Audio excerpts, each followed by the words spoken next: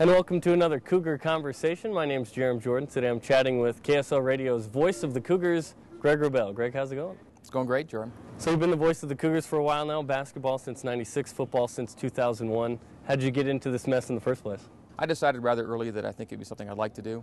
And I recall being a kid um, touring radio stations and TV stations and getting a feel for what the business was all about.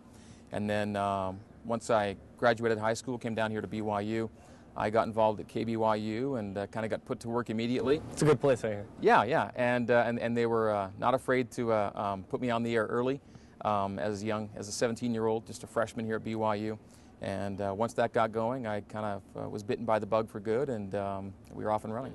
So what was your big break? And when I was hired at KSL, I, I was lucky enough to be um, part of the broadcast crew with Paul James of course called BYU Sports for you know 35 years. I was doing sidelines while he was of course doing play-by-play. He suffered what turned out to be kind of a, a minor heart attack in the pregame of BYU in Utah back in 1996.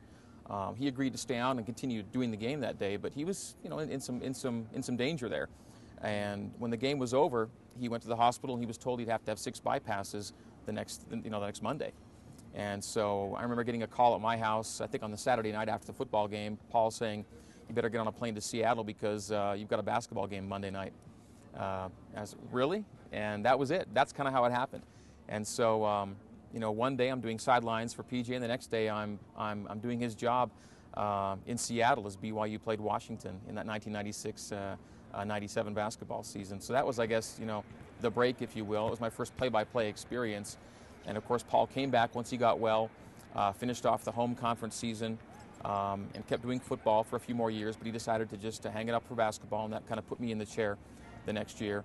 Uh, while Paul was away, I did call one football game, uh, the WAC championship of 1996, BYU Wyoming in Vegas. Went to overtime, a real thriller there. So um, that's kind of sometimes how it happens. That suddenly. Um, was I ready? I don't think so, but uh, I got through it, and here we are. In 2006, Beck to Harline, that's a famous call for BYU sports fans. It made uh, the Dan Patrick show. I know they played it and had a good time with it. Yeah. Caught for the touchdown, caught for the touchdown. I guess just walk us through that moment and how you described it, and would you say it the same way now? Uh, I have no idea how it came about. Plenty of time, plenty of time. He's moving to his left, shuffling, shuffling, shuffling. All kinds of time. Now the heat comes. He's got to run to the right. John Beck is on the run. He throws behind him. It is caught for the touchdown! Caught for the touchdown! Caught for the touchdown! Johnny Harline got it for the score! When you're in the play, you just hope to get the basics right. Um, you know, who threw it? Uh, was it caught? Who caught it? What does it mean? Uh, those are the basics. And how it all came about, there was no plan. There can't be really. Um, you know, would I have done it the same way? Probably not. There were enough things about it that I that I found I could go back and change for the better. Uh, but I think people like it the way it was, and and then that, that's the important thing. But yeah, I mean, there's no doubt with as much um, you know replay as that got or scrutiny it got. Uh, there's no doubt I went back and thought, oh, I could have done this, this, this, and this differently. But it is uh, the way it was, and, and for better or for worse. Did you notice when you made the call that Ralph Zokolowski was screaming like a girl? Cut for the touchdown! Cut for the touchdown! Cut for the touchdown! I don't think I made a conscious. Uh, I don't think I had a conscious realization what he was doing because. Um, he'd done it before. Doman shotgun on the keeper option look. Does toss to Luke. Luke on the sideline to the 20, to the 15, gonna go! Touchdown BYU! Yeah, that was kind of, at that moment I realized what he could do and how it could sound. Cut for the touchdown!